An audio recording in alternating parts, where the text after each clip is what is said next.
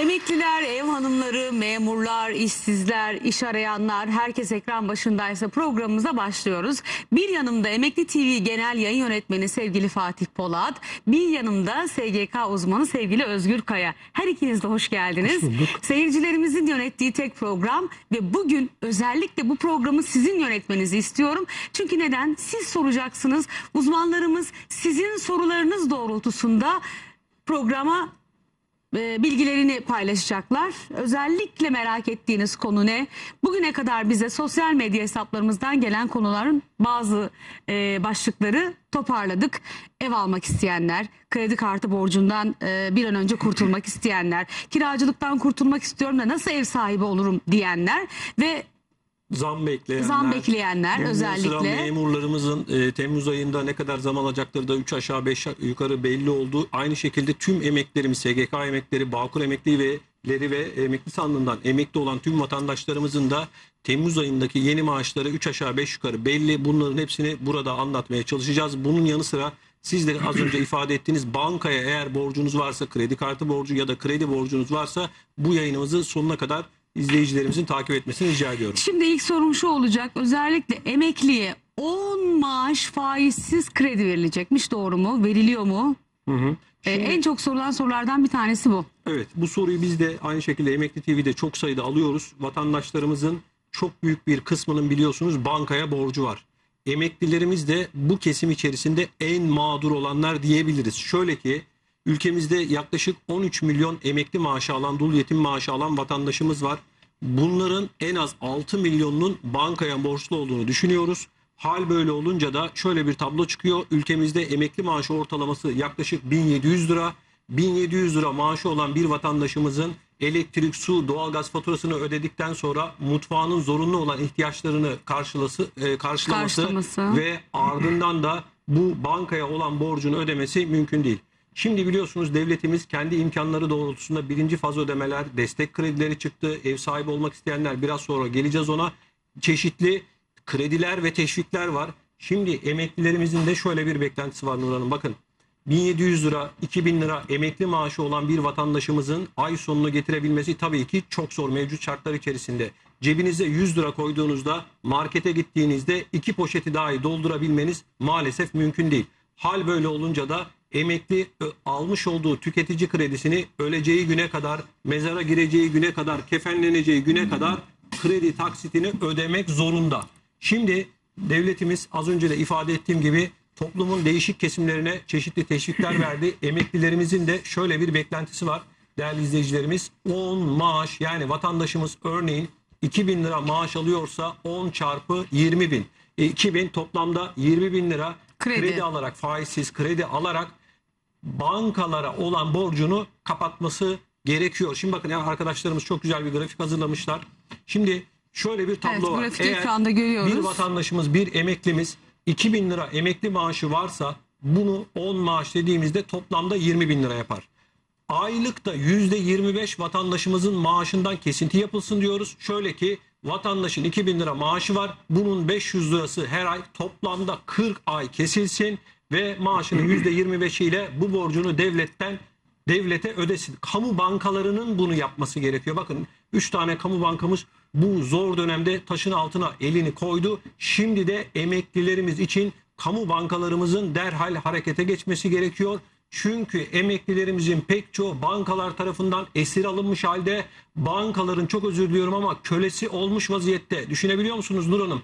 2000 lira maaş alacaksınız. 700-800 liradan aşağıya kredi taksiti ödeyen yok. Maaşınızın neredeyse %50'sini bankaya ödeyeceksiniz. Şunu da söyleyebilirsiniz. Yani diyebilirsiniz kardeşim çekme. Kardeşim almış olduğu emekli maaşıyla vatandaş zaten geçinemiyor. Hiç kimse yoksa bankanın kapısından içeriye dahi girmez. Şimdi çekme demesi işin en kolay Evet, yolu. Yani evet. çekme de- demesi değil mi? Hani şey gibi çok affedersiniz hani evli bir e, bekar bir insan, evli bir insan der ki aman boşan ne olacak? Yani onu ancak çeken bilir. Şimdi bu Sen vatandaşımız eğer bizi çocuğuna kiracıysa ne olacak Nur Hanım? Size soruyorum. 2000 siz emeklisiniz diyelim. 2000 lira maaş alıyorsunuz. Bir tane çocuğunuz var. Çocuğunuz olmasın. Şu an Türkiye'de 800 liradan aşağıya kira yok. E gitti size geriye kaldı 1200 lira E para. şimdi pandemiden dolayı kiralar daha çok arttı. Biraz sonra geleceğiz. Fırsatçılar var. Kira fırsatçıları, araba fırsatçıları, ev fırsatçıları bunları da anlatacağız. E şimdi 1200 lira para kaldı. E siz bunu 700-800 lirasında bankaya verirseniz bir emekli vatandaşımız nasıl geçinecek? Nasıl ay sonunu getirecek? Size soruyorum. Hadi 300-400 lira ben size vereyim. 30 gün geçir günde 10 lirayla. Hadi pazara git. Hadi markete git. Nasıl geçineceksiniz? Mümkün değil. Vallahi şunu artık gördük ki bir eve iki tane emekli maaşı şart. Tabii ki. Vallahi Biraz şart. sonra- Özellikle Evet. e, kadınları daha çok güçlendirebilmek adına iki konuğumda çok önemli bilgiler verecek. E, ev kadınları nasıl emekli olabilir onu konuşacağız. Peki bugüne kadar hep ev işi yaptınız. Hiç kimse size bunun karşılığında hiçbir şey vermedi.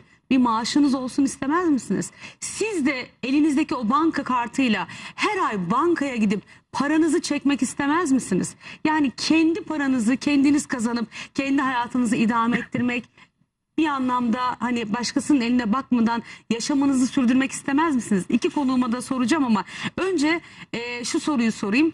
Çok geldi bu soru doğum yapan kadınlar için erken emeklilik diye. Evet. E, doğum yapan kadınlar erken emekli olabiliyorlar mı?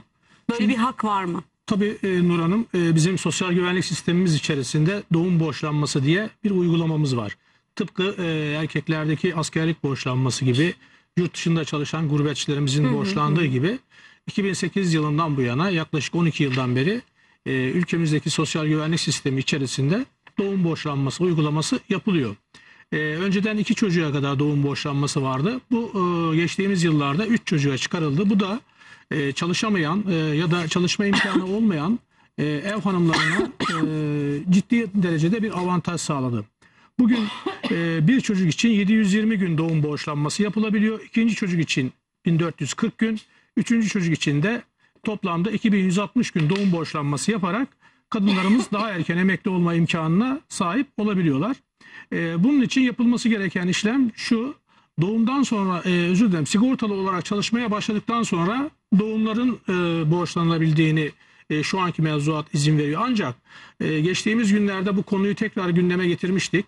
E, Cumhurbaşkanlığı siyaset belgesinde bu konu yer aldı. E, bu sayıda da çok e, bu konuda da çok sayıda e, talep var. Kadınlarımızın pek çoğu özellikle bugün şartlarda emekli olamayan kadınlarımızın pek çoğu sigortalılık başlangıçlarının e, geç olmasından kaynaklanıyor.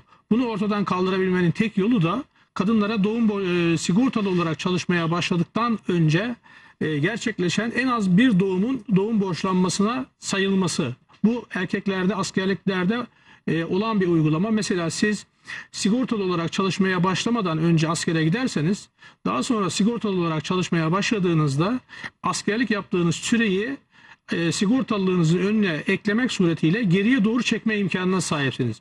Örneğin e, 90 yılında e, sigortalı olarak çalışmaya başladınız ama 86-87 yılında askere, Askere gittiniz. gittiniz. Ne oluyor? Sizin sigortalılığınız dok- başlangıç 90 değil bu sefer yaptığınız süre kadar. Örneğin bir yıllık bir şey askerlik yaptıysanız e, 89'a çekilmiş oluyor. Kadınların da böyle bir talebi söz konusu olur. Gerçekten çok kritik noktalarda kadınlarımız e, doğum yapmış ama daha sonra çalışmaya başlamış.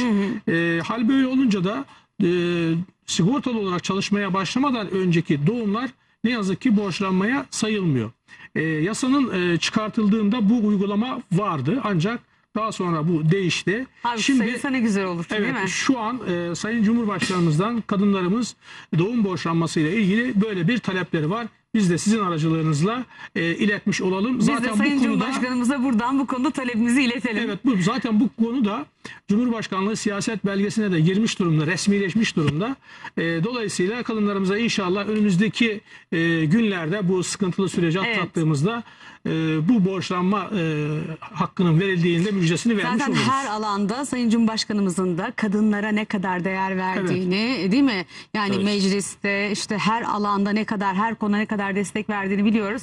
E bu konuda da bizim de talebimiz olsun değil mi Evet, hanımlar? evet. Yani dünyanın en zor mesleği annelik.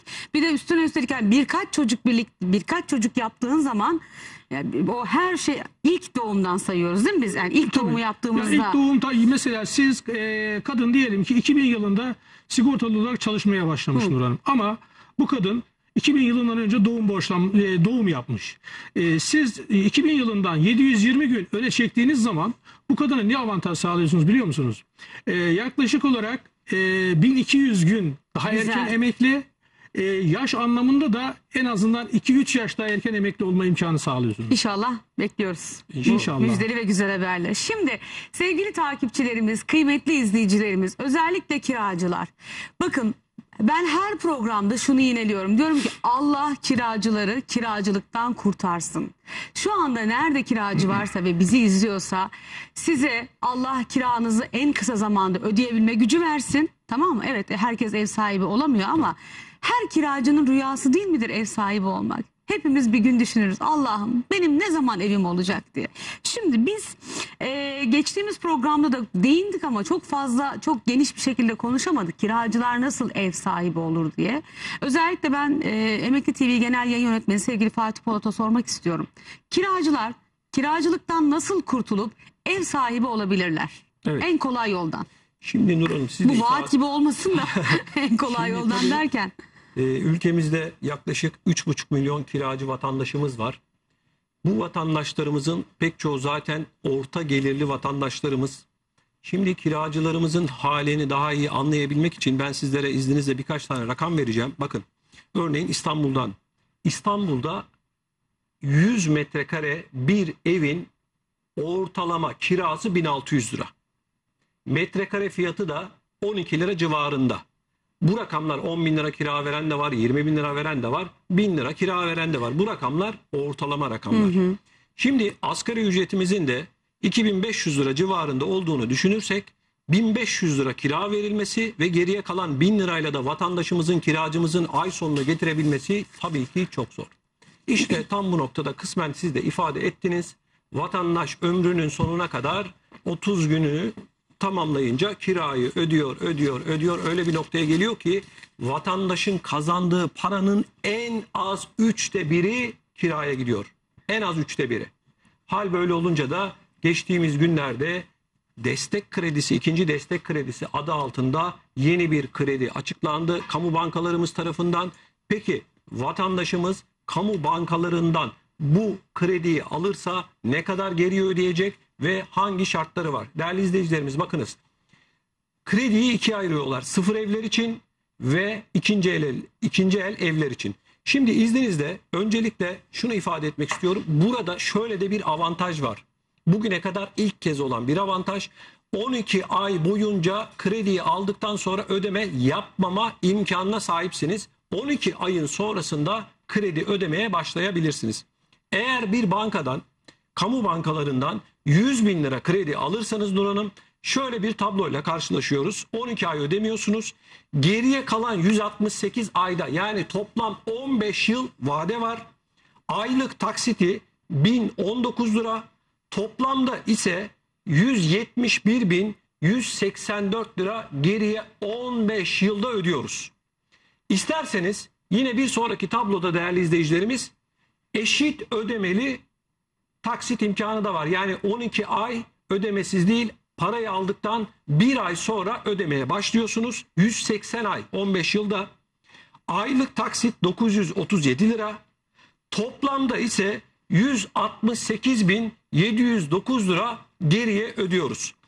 Bu saymış olduklarım sıfır evler için. Bir de ikinci el evlerle ilgili durum nedir? O tabloya bakalım. 100 bin lira alırsanız ve 12 ay ödemesiz geriye kalan 168 ayda ise 1095 lira taksitle toplamda 183.925 lira geriye ödüyorsunuz. Bir diğer imkan ise eşit taksit. 100 bin lira alırsanız 180 ayda aylık 1007 lira taksitle toplamda 181.285 lira geriye bankaya ödüyorsunuz. Bakın değerli izleyicilerimiz bu rakamlar aslında bize şunu gösteriyor. Ülkemizde emekli, işçi, memur, dar gelirli vatandaşımızın ev sahibi olması çok zor. Ama bir vatandaşımız eğer 1500-1600 lira kira ödüyorsa ya da 1000 lira kira ödüyorsa ev sahibi olabilmek için kira ödeyeceğine bankaya taksit öder. 15. yılın sonunda ise ev sahibi olur. Söylediklerimden şöyle bir şey çıkartılmasın. Kredi alın, borçlanın falan demiyorum ama ortada bir gerçek var. ülkemizde tabii ki herkesin evi olmayacak. Devletimiz imkanları doğrultusunda sosyal konutlar yapıyor ama halen ülkemizde 3,5 milyon kiracımız var. Toplam ev sayısı 10 milyon. 3,5 milyon vatandaşımız 30. gün kira ödemek zorunda. Ve vatandaşın kazandığı paranın üçte biri en az kiraya ödüyor. Gidiyor. Hal böyle olunca böyle bir tablo var. Arkadaşlarımız şu anda ekranın ortasına verdiler bunu. Üçte biri Ev gidiyor. sahibi olmak isteyen vatandaşlarımızın bu kampanyayı kısa bir süre sonra bunlarla ilgili e, de- daha detaylı bilgileri vereceğiz. Çok fazla zamanınızı almamak için şartlarına şimdi girmiyorum ama ilerleyen dakikalarda gireceğim. Peki. Ee, şimdi hep diyoruz ya iki maaş iki maaş diye bir seyircimiz sormuş. Ee, SGK'dan nasıl iki maaş alınır diye. Biraz açalım ben? Evet. Soruyu çok anlamadım. Evet. Şimdi Nur Hanım şurada elimde bir tablo var. Evet. Şimdi bu tabloda Ben göstereyim mi tabloyu? e, şimdi bu tabloda e, tercih ettiği aylık iki aylık şeklinde bir e, uygulamalar var. Burada e, iki kişilerin iki aylık alabilmesi için e, kadının e, eşinin veyahut da anne babasının ölüm tarihleri burada önem arz ediyor. Örnek vereyim. Mesela kadının eşi Sosyal Güvenlik Kurumu'ndan emekli olmuş. 30.09.2008 tarihinden sonra vefat etmiş. Anne babası da Bağkurlu. Şimdi bu kadın hem annesinden veya babasından hem eşinden e, aylık alabilir mi? E, anne veya babanın ölüm tarihi bu sefer 30.09.2008 tarihinden sonra olduğu için sadece tercih ettiği aylığı. Burada tercih sebebi de şudur. Bazen e, annenin babadan bağlanacak yetim aylıkları eşten bağlanacak ölüm aylığından fazla olabilir. Sosyal Güvenlik Kurumu kadına bu hakkı tanıyor. Diyor ki istersen yüksek olanı tercih edebilirsin. Burada baktığımızda en avantajlı kesim emekli sandığı mensubu kızlarının olduğunu görüyoruz. Şimdi bakın emekli sandığı mensubu kızları bakın her iki aylık, her iki aylık, her iki aylık. Yani emekli sandığı mensubu kızları eşi vefat e, kendileri çalışsalar da e, eşlerinden dolayı aylık alsalar da Onlar burada, daha şanslı e, bu noktada. Emekli anne ya da babadan kızları. evet her iki aylığı alma şansları mevcut. Ha, SGK'dan nasıl iki maaş alırız sorusunun cevabı bu yani. Evet. Şimdi SSK'dan, SGK'dan her iki aylığı alabilmenin de yöntemleri var. Mesela kadının eşi SSK'lı. Ee, eşi 2008 tarihinden önce vefat etmiş. Babası emekli sandığı mensubu. Bu her iki aylığı alabiliyor. Şimdi e, e, yine SSK'lı bir kadının e, eşi vefat etmiş. SSK'dan emekli 2008 öncesi. Babası da Bağkur'dan emekli. E, bu da e, 1-12-2008 tarihinden önce vefat etmiş. Bu sefer hem eşinden dolayı e, dul aylığı hem anne babadan dolayı da yetim aylığı alabilme imkanına sahip. Bu soru çok sorulur. Şimdi mesela e, kadın diyor ki benim e, kocam vefat etti. E, benim annem babam da vefat etti. Annem babam işte e, SGK'lıydı ya da Bağkurluydu. Şimdi SGK emeklisi eşten alınan dul aylıkla birlikte SGK'dan emekli anne babadan yetim aylığı bağlanmaz. Kurumların aynı olmaması gerekiyor birinci şart. Burada en avantajlı kesime baktığımızda emekli sandığı mensubu kızlarının daha avantajlı olduğunu biliyoruz. Yalnız emekli sandığı mensubu kızları da şöyle bir eleştiride bulunuyor. Diyor Nasıl? ki ben emekli sandığımdan emekliyim. Annem babam da SGK'dan emekli. Ben emekli sandığımdan emekli olduğum için annemden ya da babamdan yetim aylığı alamıyorum. Halbuki e, diğer taraftan baktığımızda e, avantajı var. Bir taraftan baktığımızda da dezavantajı var.